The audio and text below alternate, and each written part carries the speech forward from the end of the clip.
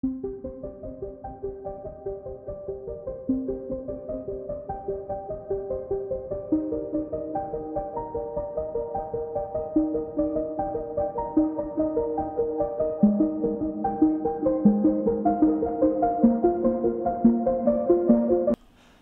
moin, Blender-Freunde, herzlich willkommen. Äh, hier nochmal ein Tutorial, äh, kurz vor Jahresende. Es, wir werden eine Winterszene erstellen in Blender, für wirklich für Einsteiger dieser Tutorial und, äh, und werden die Sache Schritt für Schritt angehen, wie immer.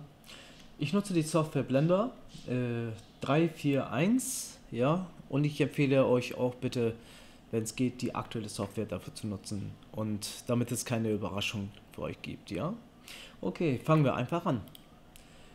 So, den Würfel löschen wir und dann äh, gehen wir nach oben, Kollektion, benennen die gleich mal, Kamera und Licht, so, geben den Ordner eine Farbe, sagen wir rot, so, weil wir hier mehrere Kollektionen gleich erstellen werden und das ist immer gut, wenn wir hier Ordnung haben. Okay, dann machen wir das auch gleich mal. Wir gehen auf Scene Collection. Ich klicke ja ganz oben hin. Machen wir mal 1, 2, 3. Machen wir drei Ordner. Okay. Die erste, wie gesagt, machen wir mal Landschaft. Die benennen wir Landschaft. Und dann kommt Atmosphäre. So, und die letzte Assets. Ja? Super. Okay. So, den geben wir auch eine Farbe. Landschaft braun. Atmosphäre nehmen wir mal hier diese Farbe, helle Farbe und dann unsere Assets-Farbe machen wir gelb. Okay, so und dementsprechend arbeiten wir jetzt auch. Das erste machen wir Landschaft. Wir klicken Landschaft an, die Kollektion und erstellen uns gleich mal eine Plane. Perfekt. So, F7, Top-Ansicht. Ja. So, gehen auf N. Die ist jetzt 2 Meter mal 2 Meter. Die vergrößern wir mal auf, hm, machen wir 50. 50 Meter, schön groß. Genau. Wir müssen ein bisschen realistische Größen nehmen. Ja. Okay, jetzt gehen wir auf Edit. Subdivide das. Äh, machen wir 50. Teilen das in 50 auf. Subdivide. Ja. Als nächstes, das wird unsere Landfläche. Hier wird ungefähr unser Haus stehen, unsere Hütte. Also diese Seite ist die Landseite und die rechte Seite ist sozusagen äh, Wasserfläche. So, und das heißt, wenn wir jetzt unsere Kamera hier mal selektieren, so, da ist die Kamera, die ziehen wir mal ein bisschen zurück hier, okay. Und wenn wir durch die Kamerasicht hier durch, diagonal, durchscheinen würden, also durchgucken würden, dann möchte ich, dass das hier die Fläche die Landseite ist und hier ungefähr das Haus steht, wie gesagt, und schöne Kameraansicht einen schönen Blick hat. Und da ganz hinten soll unser ein großer Berg noch stehen. Ja? Okay. So, das heißt, wir gehen jetzt wieder auf unsere Plane, sagen Edit, mit C, Circle Select, ja, und wählen mal ja, machen wir mit dem Mausrad den Kreis etwas größer. So. Und wählen mal die Fläche hier. Diese Fläche. Wir wählen die Fläche für die Kante, also diese Inselbucht. Machen wir mal so. Okay. Oder so.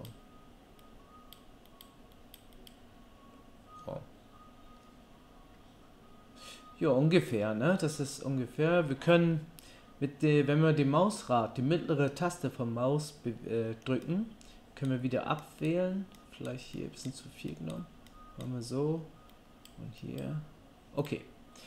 So, jetzt haben wir die Wasserfläche selektiert. So. Und jetzt machen wir eins. Einmal auf O drücken. O, Proportional einschalten. Hier oben.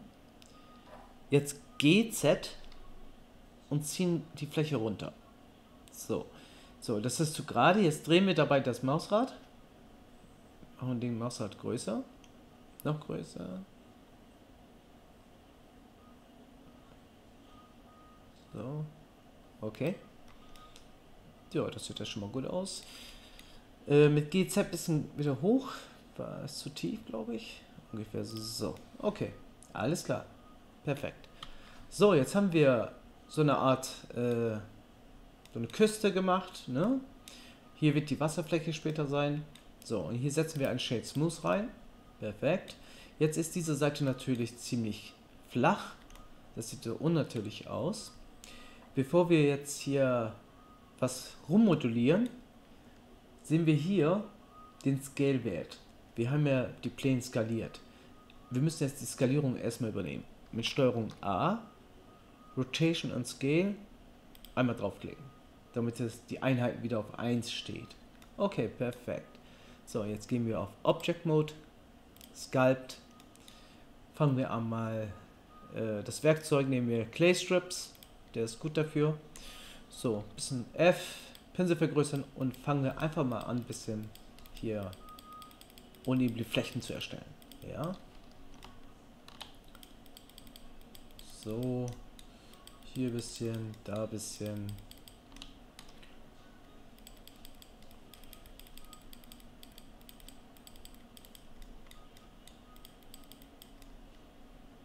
So.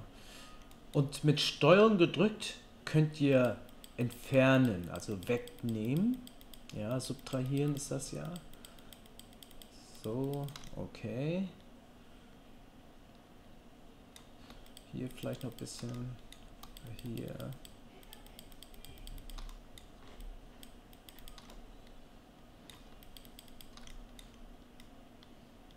Hm.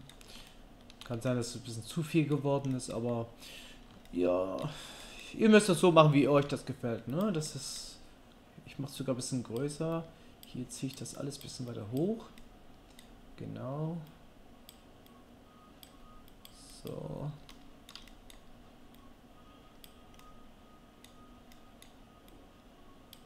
Noch mehr. Okay. So, müssen wir gleich mal schauen, wo, wie wir das Haus platzieren, weil die Fläche, wo das Haus ist, wird nachher ein bisschen gerade äh, gesculptet. Ja? Okay. So. Okay. Das ist soweit fertig. Jetzt haben wir unser Land fertig, da wo unser Haus stehen wird. Das benennen wir jetzt auch. So, Land. Alles klar. Als nächstes erstellen wir jetzt unseren Berg. Shift A, Mesh, Landscape. Ja, da klicken wir jetzt drauf. So. Okay, jetzt haben wir hier so eine Einstellung jetzt bekommen für unseren Berg. Jetzt ist er natürlich, hm, gehen wir ein bisschen näher ran, der ist ziemlich klein. Okay, so sieht das aus. Das kriegt ihr bei euch auch zu sehen am Anfang. Das ist der Standardberg. So, und wenn ihr da mal genau äh, hinschaut, es ist eine Art Textur auf diesem Plane, auf diesem Berg. Das ist die Noise-Textur. So, und wir haben hier äh, verschiedene Voreinstellungen, äh, auch für Berge. Wenn man hier drauf drückt, hier haben wir verschiedene Vorlagen. So, ihr seht, was passiert. So, und ihr habt da verschiedene Möglichkeiten jetzt, äh, ob, welche Berglandschaft ihr haben wollt. Entschuldigung. Äh, so, und ich glaube, ich nehme die gleich. Die gefällt mir. Das sieht gut aus. Okay, und diesen Berg äh, wollen wir hinten platzieren. Da hier ist die Auflösung für diesen Berg und das machen wir mal ein bisschen größer. 256. So, jetzt seht ihr, was passiert ist. Äh, wir haben, äh, sehen jetzt viel mehr Details, viel mehr Struktur. Ja? Okay.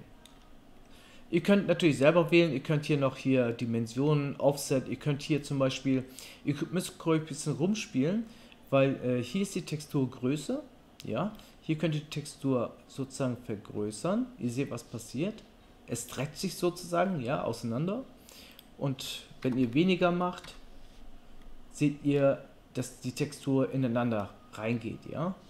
Von oben sieht man das besser, ne? Okay, ich glaube meins lasse ich jetzt so, das sieht gut aus. So, und hier habt ihr noch Höhe und hier habt ihr nochmal Offset. Offset ist die äh, Texturrichtung, also wenn ihr zum Beispiel die X-Richtung von der Textur ändern wollt, sozusagen, wenn ich, dann äh, verschiebt die Textur sozusagen, ja, in diese X-Richtung. So, und dadurch ändert sich auch natürlich dementsprechend die Landschaft.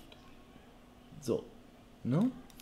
Okay, jetzt haben wir die Möglichkeit, die können wir auch so lassen, gefällt mir auch schon. Ähm, diese Landschaft übernehme ich jetzt. Wir gehen mal runter. So. Skalieren den. Die komplette Plane. Noch größer. So. Okay. Schieben das mal nach hinten. So. Perfekt. Okay.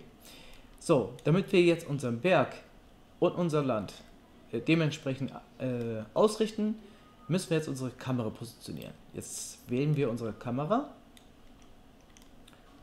So, der ist ziemlich tief. Ich setze mir ein bisschen runter hier. Genau. So, mit 0 haben wir jetzt die Kameraansicht. Wir tippen jetzt zweimal R, rotieren die Kamera so etwas hier rüber. Okay, drehen das bisschen gerade. So, G, Z, Z, bisschen zurück.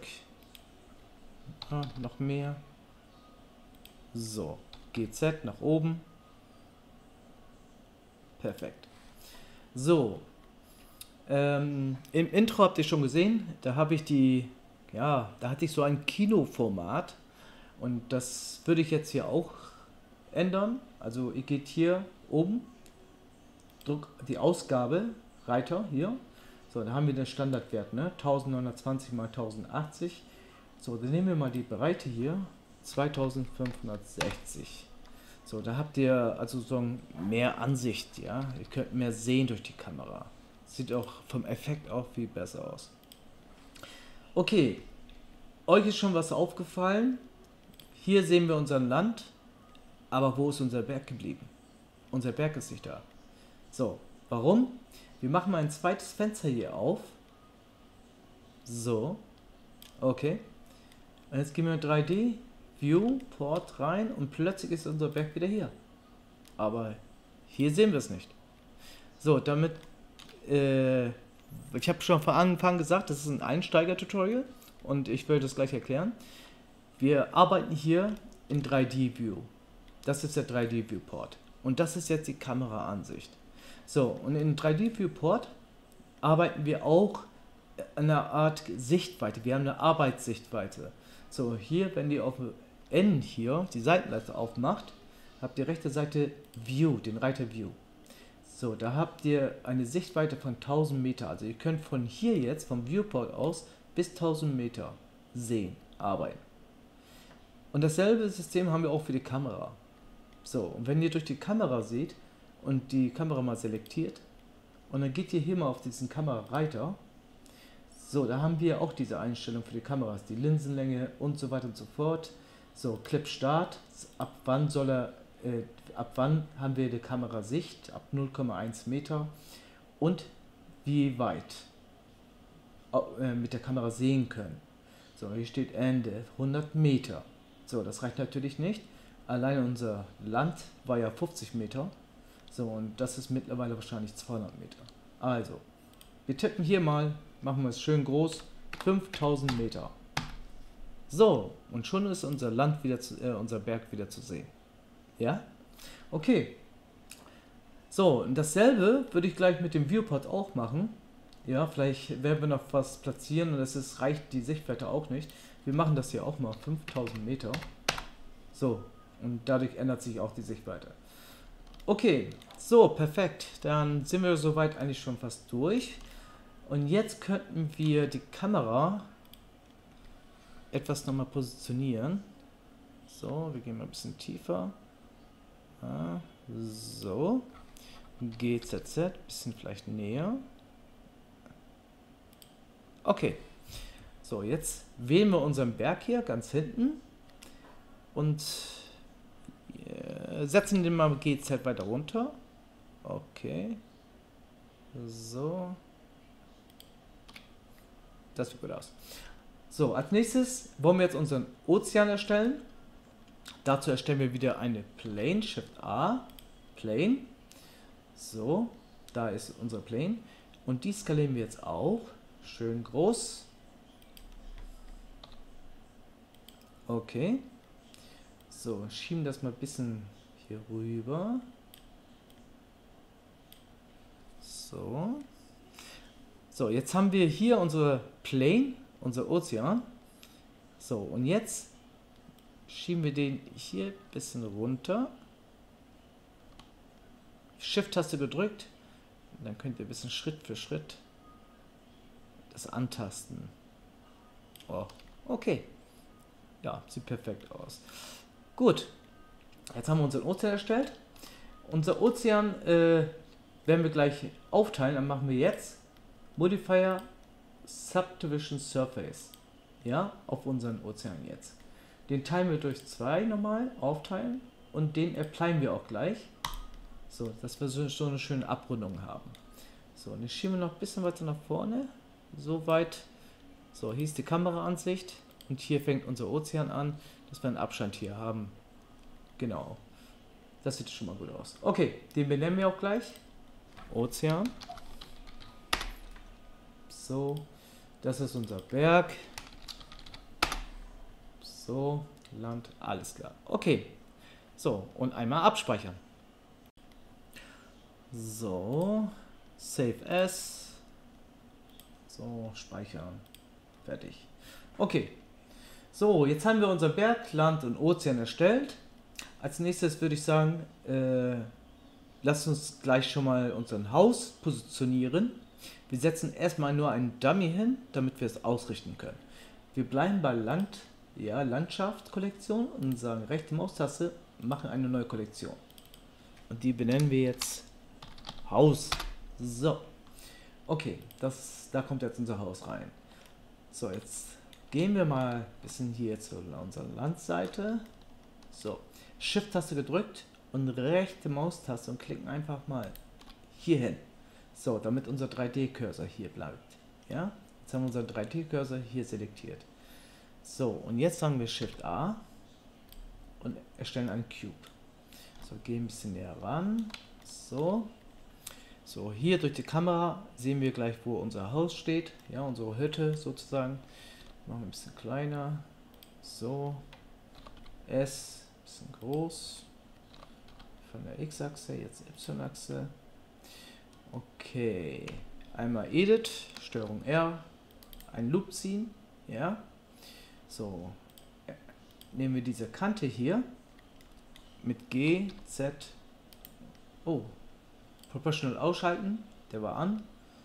G, Z und ziehen mal ein bisschen hoch, damit das aussieht wie ein Haus, ungefähr. Okay, schauen wir das mal durch die Kamera. Ja, das sieht eigentlich gut aus. Kamera fokussiert in der Mitte. Das Haus ist hier. Doch, ich finde es in Ordnung. Okay. So, jetzt haben wir unseren kleinen Dummy für unser Haus erstellt, damit wir wissen, wo das Haus gleich hin muss. Okay, alles klar.